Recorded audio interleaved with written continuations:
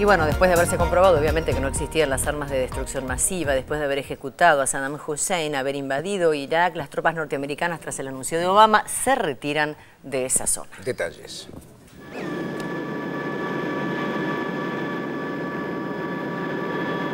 El último convoy de las tropas estadounidenses cruzó este domingo la frontera con Kuwait para cumplir la decisión que anunció el presidente Barack Obama.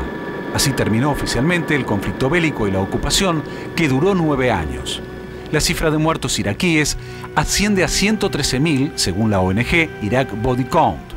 4.484 soldados estadounidenses murieron desde que comenzó el conflicto el 20 de marzo de 2003, en tanto que Gran Bretaña perdió 179 militares.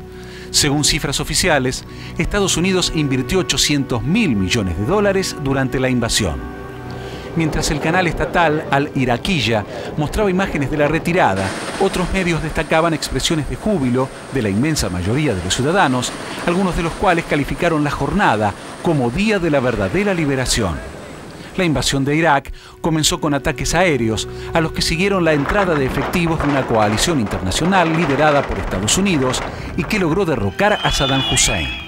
Obama agradeció hace unos días a los soldados su intervención en un acto simbólico en la base militar de Fort Bragg. Durante sus palabras, calificó al fin de la operación como un momento histórico para nuestro país y nuestro ejército.